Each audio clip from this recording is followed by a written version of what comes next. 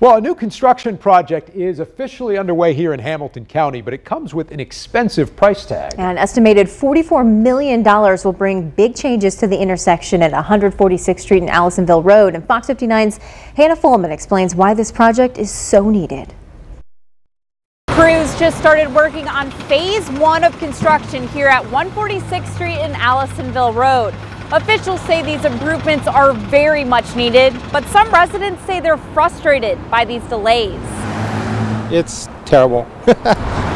Todd Stefanov lives right down the street from where the major construction project is happening. Each day hearing all of the noise and sitting in traffic longer for his daily commute. I know at some point it will be over, but it's just like while you're in it, it's kind of like, ah, traffic again. The Hamilton County Highway Department says the temporary traffic delays will be worth it for drivers once they see what the project has in store. The two year, $44 million project is expected to bring major improvements to a very busy intersection in Hamilton County. An intersection that sees more than 40,000 cars traveling on it each day. And that number is only growing. Hamilton County is a growing county, and we really want to make sure that we're keeping up with the with the traffic that we have here, and you know, trying to promote people coming here to to live here, to work here, to play here, to shop here. The intersection will be transformed into a new grade separated interchange.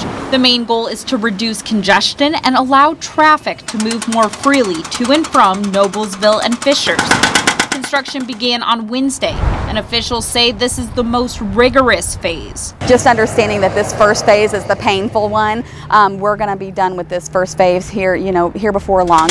And even though it will take some time before everything is complete, people like Stefanov agree it'll be worth it in the end to have safer and more convenient roads. I have no complaints once the work is done.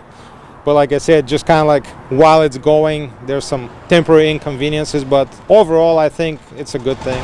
Construction is expected to last until summer 2025, and drivers are encouraged to take alternate routes as this road work continues.